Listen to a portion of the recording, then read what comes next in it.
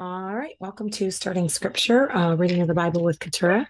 Today is day 103, and we are reading John 13 to 15 and Proverbs 6, verses 6 through 11. Gospel of John, chapter 13. Jesus washes his disciples' feet. Before the Passover celebration, Jesus knew that his hour had come to leave this world and return to his Father. He had loved his disciples during his ministry on earth, and now he loved them to the very end.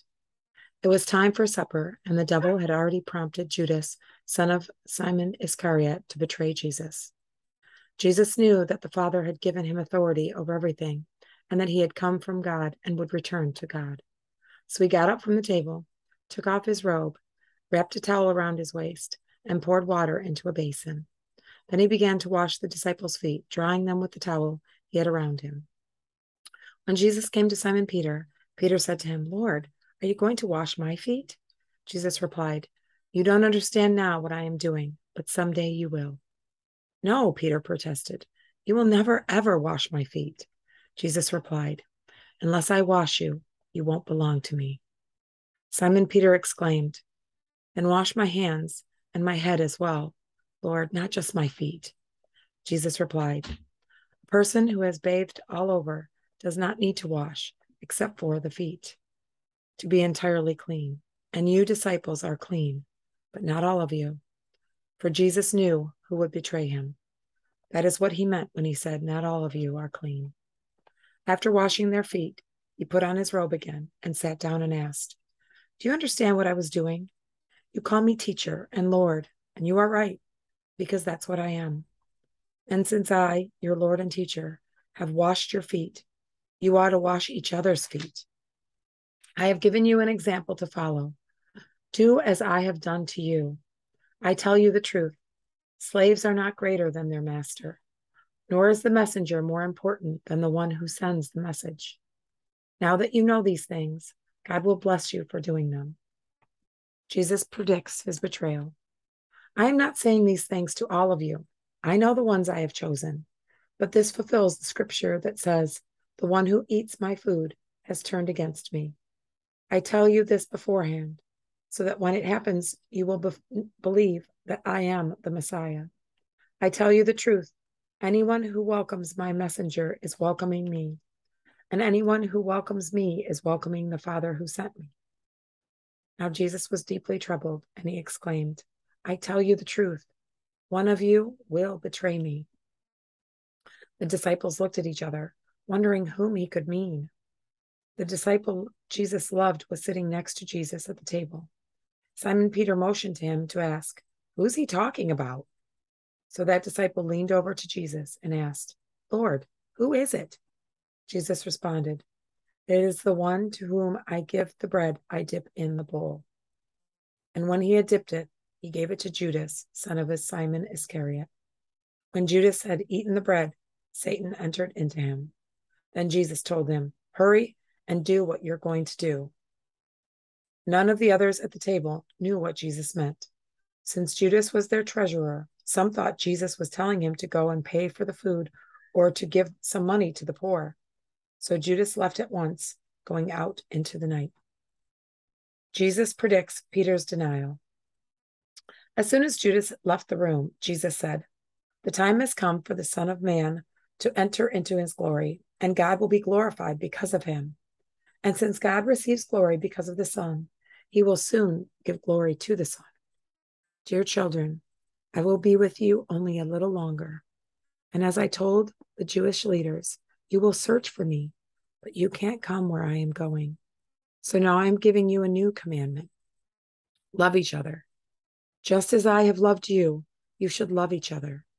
Your love for one another will prove to the world that you are my disciples. Simon Peter asked, Lord, where are you going? And Jesus replied, You can't go with me now, but you will follow me later.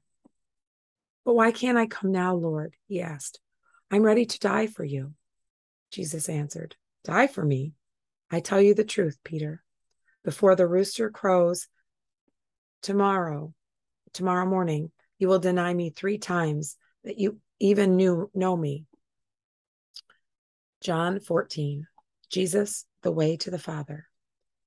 Don't let your hearts be troubled. Trust in God and trust also in me. There is more than enough room in my Father's home. If this were not so, would I have told you that I am going to prepare a place for you? When everything is ready, I will come and get you, so that you will be always be with me where I am, and you know the way to where I am going. No, we don't know, Lord, Thomas said. We have no idea where you are going. So how can we know the way? Jesus told him, I am the way, the truth, and the life. No one can come to the Father except through me. If you had really known me, you would know who my Father is. From now on, you do know him and have seen him. Philip said, Lord, show us the Father, and we will be satisfied. Jesus replied, Have I been with you all this time, Philip, and yet you still don't know who I am? Anyone who's seen me has seen the Father. So why are you asking me to show him to you? Don't you believe that I am in the Father and the Father is in me? The words I speak are not my own, but my Father who lives in me does his work through me. Just believe that I am in the Father and the Father is in me, or at least believe because of the work you have seen me do. I tell you the truth anyone who believes in me will do the same works I have done, and even greater works, because I am going to be with the Father. You can ask for anything in my name, and I will do it, so that the Son can bring glory to the Father. Yes, ask for ask me for anything in my name, and I will do it. Jesus promises the Holy Spirit. If you love me, obey my commandments, and I will ask the Father, and he will give you another advocate who will never leave you. He is the Holy Spirit who leads into all truth. The world cannot receive him because it isn't looking for him and doesn't recognize him. But you know him because he lives within with you now and later will be in you. No, I will not abandon you as orphans. I will come to you. Soon the world will no longer see me, but you will see me. Since I live, you also will live. When I am raised to life again, you will know that I am in my Father, and you are in me, and I am in you. Those who accept my commandments and obey them are the ones who love me. And because they love me, my Father will love them, and I will love them and reveal myself to each of them. Judas, not Judas Iscariot, but the other disciple with that name, said to him, Lord, why are you going to reveal yourself only to us and not to the world at large? Jesus replied, All who love me will do what I say.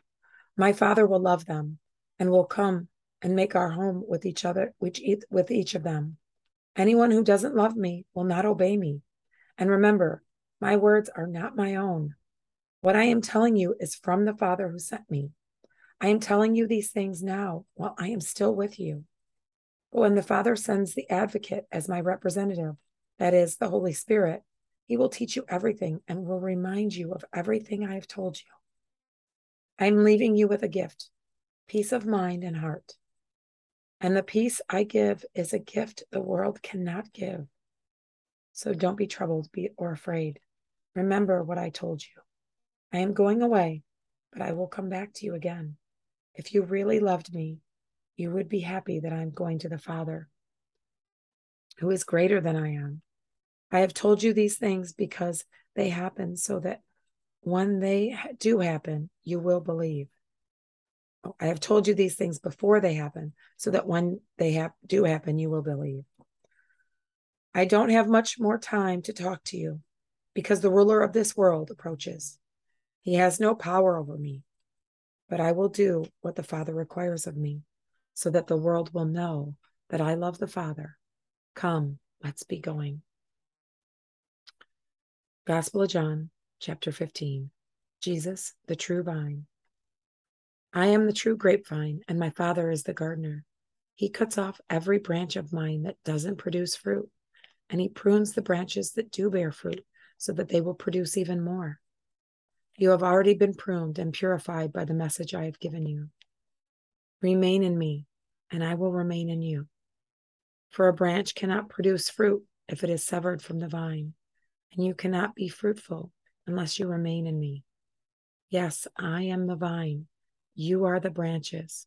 Those who remain in me and I in them will produce much fruit. For apart from me, you can do nothing. Anyone who does not remain in me is thrown away like a useless branch and withers. Such branches are gathered into a pile to be burned. But if you remain in me and my word remain in you, you may ask for anything you want, and it will be granted. When you produce much fruit, you are my true disciples. This brings great glory to my Father. I have loved you even as the Father has loved me. Remain in my love. When you obey my commandments, you remain in my love, just as I obey my Father's commandments and remain in his love. I have told you these things so that you will be filled with my joy. Yes, your joy will overflow. This is my commandment love each other in the same way I have loved you. There is no greater love than to lay down one's life for one's friends. You are my friends. If you do what I command, I will I no longer call you slaves because a master doesn't confide in his slaves. Now you are my friends, since I have told you everything the Father told me. You didn't choose me, I chose you. I appointed you to go and produce lasting fruit, so that the Father will give you whatever you ask for, using my name. This is my command love each other. The world's hatred. If the world hates you, remember that it hated me first. The world would love you as one of its own if you belong to it, but you are no longer part of the world. I chose you to come out of the world, so it hates you. Do you remember what I told you? A slave is not greater than the master. Since they persecuted me, naturally they will persecute you. And if they had listened to me, they would listen to you. They will do all this to you because of me for they have rejected the one who sent me. They would not be guilty if I had not come and spoken to them, but now they have no excuse for their sin. Anyone who hates me also hates my Father. If I hadn't done such miraculous signs among them that no one else could do, they would not be guilty. But as it is, they have seen everything I did, yet they still hate me and my Father. This fulfills what is written in their scriptures. They hated me without cause. But I will send you the advocate, the Spirit of truth. He will come to you from the Father and will testify all about me. And you must also testify about me, because you have been with me from the beginning of my ministry. Proverbs 6, verses 6 through 11.